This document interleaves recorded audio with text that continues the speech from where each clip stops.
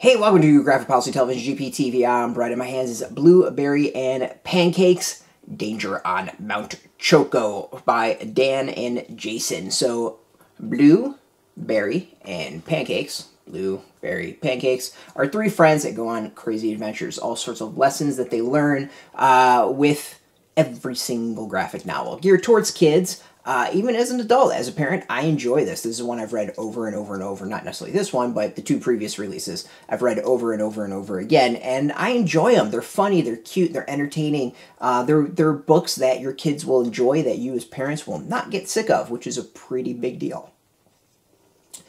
Uh, so in this one, in Danger on Mount Choco, uh, the trio decide to enter a contest to make the world's greatest sundae because they want to win a trophy. Barry has never won a trophy and wants one for his trophy room. So the trio decide to enter, and their trick is going to get ice cream from Mount Choco, the greatest ice cream ever. For that, they need to go through all sorts of tasks and get through uh, all sorts of danger. Will they succeed or not? Well, you're going to have to read and find out uh, as always, I think the graphic novel is fantastic. It's really entertaining. It's cute. It's funny. Um, kind of like some of the the more popular animated films where they had jokes for adults that kind of probably go over uh, heads of kids a little bit. Uh, this one kind of it's got some of that. There's nothing inappropriate. There's nothing horrible. But you know, it talks about like funk. I don't know if kids will know funk and funkadelic and music of the funky sort, but you know, could be wrong. I, I, I don't know what kids are into now. Um, but, you know, there's small stuff like that I think parents will enjoy. Um, there's some other stuff um, with, like, their dangers and what they kind of come across. And, you know, I, I, you know I, I don't know if kids will get all the jokes, but parents will definitely get the jokes. And again, there's nothing inappropriate. Um, but I like it. Like the lesson's really good. When we get to the end, I was a little surprised as to what the ending was, which is not necessarily a bad thing. Um, you know, there's just really solid lessons in there for kids to to read. Uh, and learn. And yeah, I mean, it's it's entertaining. This is one I definitely am going to enjoy reading over and over and again, over again with my daughter. Um, the thing I always like about the series too is there's always extras. There's fun little extra things in the back.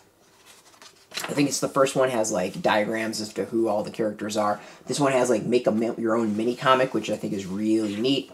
Um, and then of course a diagram of their chocolate sundae. Uh, so yeah, I mean, it, it's a cute graphic novel. It's really great. The the art, I mean, it's exactly what you'd expect for this comic and its art. It's you know really exaggerated. It's over the top.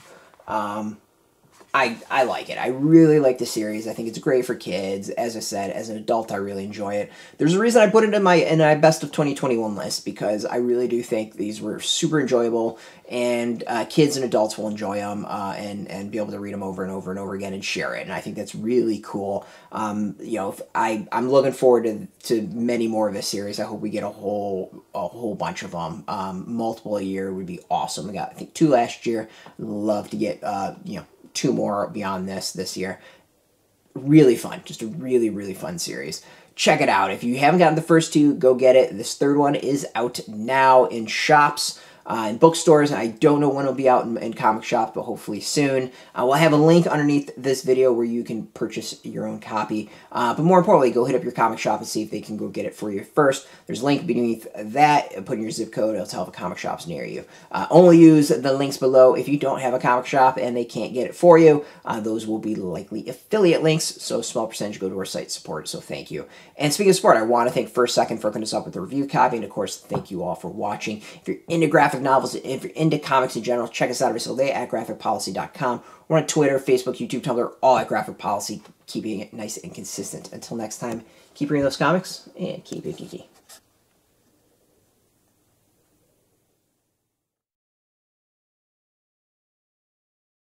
Hey, thanks for watching the previous video from Graphic Policy Television. Just by watching, you help support our site. Thank you so much. Now, if you're watching these videos, you probably care about geeky things like movies, television, comic books, toys, games, video games, you name it. You can go and subscribe right now to our YouTube channel to stay in touch and catch all the new videos, or check out our website at graphicpolicy.com. There's a nice link on this end of the video. But as always, thank you for watching. Keep on rocking and keep it geeky.